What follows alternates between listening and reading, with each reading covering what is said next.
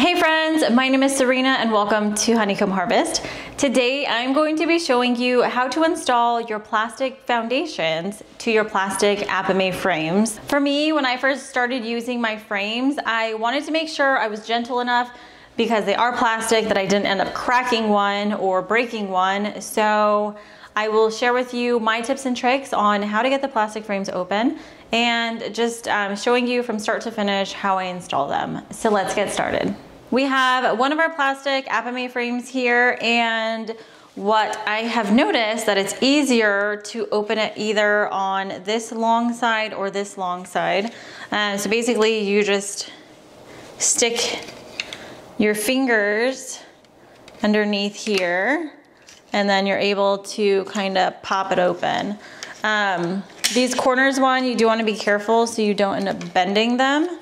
Um, and then you can kind of move on to this side.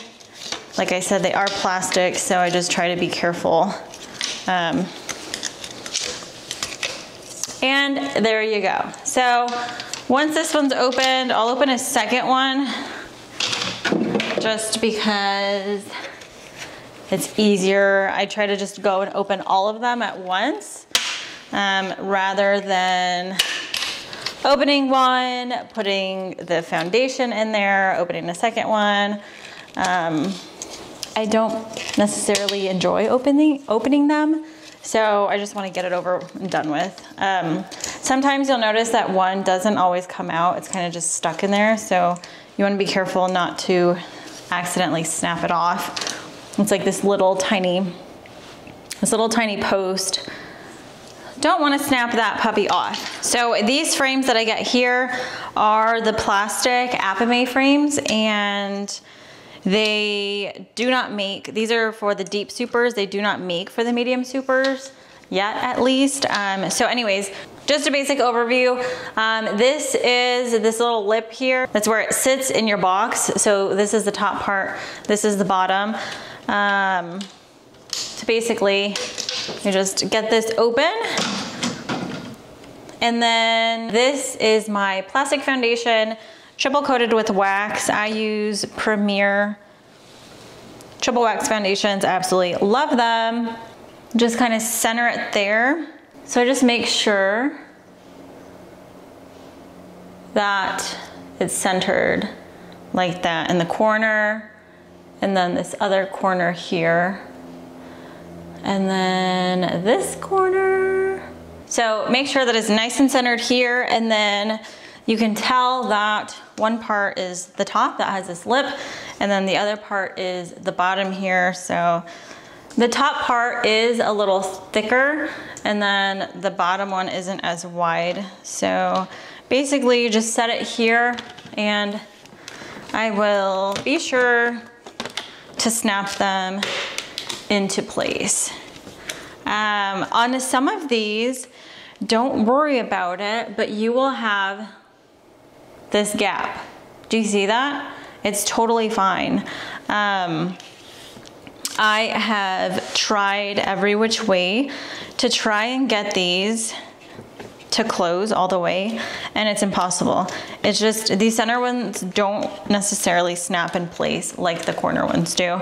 Um, and if they don't like it, the bees will close it up. And that's pretty much all there is to it. So I really love these frames and the fact that I can take out the foundations if I want to, or if I want to make cut comb honey, then I can just simply put the frame in here like this, and then they draw it out on these three sections here. So that's really nice. I actually have some empty frames in a couple of my hives right now. So I'm super stoked about that. That's really all there is to it. Um, these frames do seem to be pretty sturdy.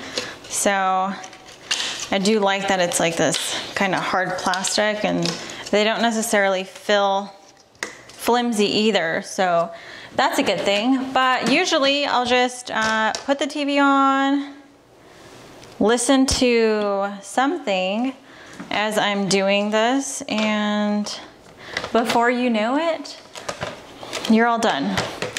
Also, I like to um, I have the stacks of supers in my office and um, whenever I have some spare time, I will just go and open any empty frames that I have and just start filling them in with my foundations so that when I do need them, they are already ready to go, already have their foundations in them. Um, I haven't yet decided which foundation color I like for, for my honey supers. I have the yellow on and the white um, foundations on right now, so we shall see. But I definitely like to buy a mix and then go from there and see what I like. I think the best part of doing these is smelling these foundations. Like, oh my goodness, the smell is just incredible.